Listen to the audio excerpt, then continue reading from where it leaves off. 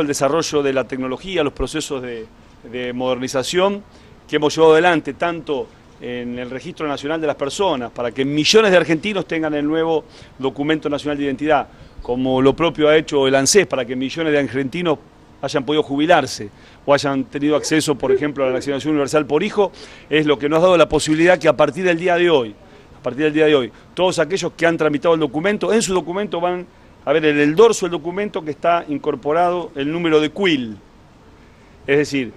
que a partir de ahora no solo el documento tiene los datos de la persona, su número de documento, sino el número de quill. Y para obtener el número de quill no tienen que hacer ningún eh, trámite adicional. Automáticamente, cuando van a hacer el documento nacional de identidad, el sistema consulta a la base del ANSES y del base del ANSES, aquel que ya tiene el quill,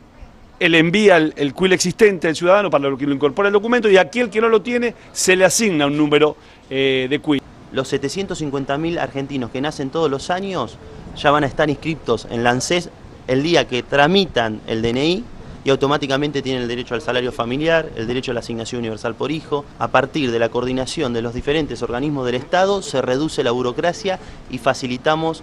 eh, los trámites a los argentinos.